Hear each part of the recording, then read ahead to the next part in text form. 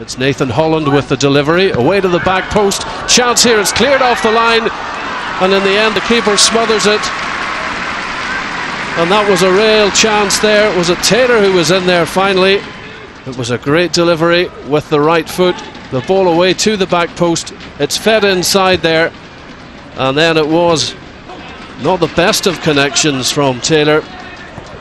Keeper did well, Chris Simpson. Here come Everton once again. Little deflected shot. Oh, that was dangerous. And Simpson, well, he'll breathe a sigh of relief there. Everton growing in confidence in this final. 11 minutes gone. And there's the little left foot shot. And the keeper did get the touch.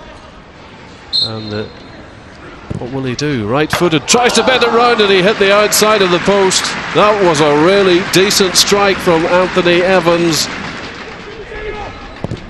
and Antrim have a free kick. Uh, inside the box, that's Mark McKee. Good skill, good control. Comes inside Yates. The ball is swung in there by Fife. Little back header. Keeper hasn't come. Chance now for Antrim. Oh, and it just ran in front. And there is the half time whistle, and that was probably their best chance in this first half for County Antrim. Great talent. Now it's Connor Logan drifting that ball in. Oh, there's a chance, and he's left unmarked and he's missed it. He cannot believe it. Let's see that again. It was Gavin Logan's high drifting ball. The header inside, and there was the shot. The keeper, in fact, has made the save. He? For Everton. Taylor. No cross, no cross. Cross comes in. Oh, there's a chance. He's hit the bar. Oh, what a decent effort it was, too. Great cross in. And it was the number five. It was Nathan Broadhead who was answering my challenge. It was so close. Great cross in from Danny Bramall. And on the half volley, oh, super rising shot from Broadhead. The blue shirts are all coming forward. Here is Holland. Puts it back for Bainbridge. Good control from the big man. Just couldn't get the touch. And then little shot there. Keeper spills it. It was a good effort in the end from Danny Bramall, the number four. And Chris Simpson made a brave save. Danny Bramall going close for Everton. A good tussle there. He's done well, Conor McKendry. He's inside the box. He's gone down under the challenge. And Conor McKendry has won a penalty for County Antrim. Everton are not pleased. Bainbridge is uh, protesting to the referee. Let's see it again. Got himself into the box. That was the danger area. Oh, it was all very cumbersome. Brendy Glacken against Matthew York.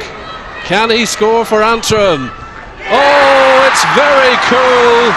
Brendy Glacken, look at the delight on his face. And the Ballymena Showgrounds erupts. The hometown side are in front. County Antrim one. Everton, the most successful team in the Junior Northern Ireland Milk Cup nil. What a good finish. Left foot chucked it away into the bottom right hand corner. It was a lovely penalty from Brendy Glacken. And he sprints away to celebrate. The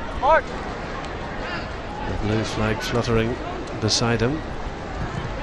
Right footed delivery. Comes in. Oh, and that's a good finish. Nobody picked up the run.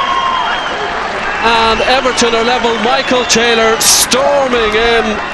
What a cracking finish from Taylor. Holland, both arms up. That was the signal. Drifted the right foot in, and there was the right foot finish from Michael Taylor. And almost instantly, that was emphatic in the finish.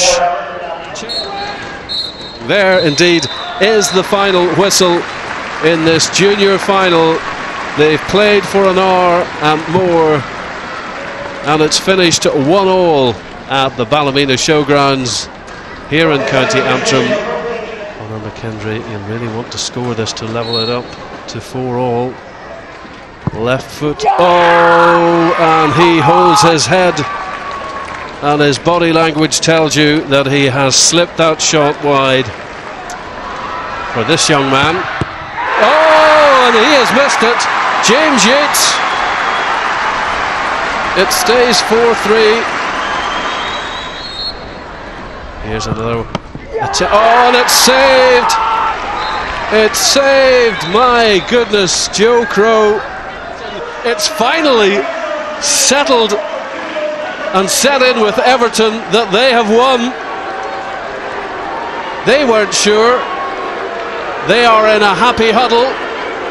Those Everton shirts, they've won yet another title here at the Milk Cup. There's the presentation now. And young Jack Bainbridge gets his hands on the trophy. Celebrations once again for Everton, who are the champions at the Northern Ireland Milk Cup.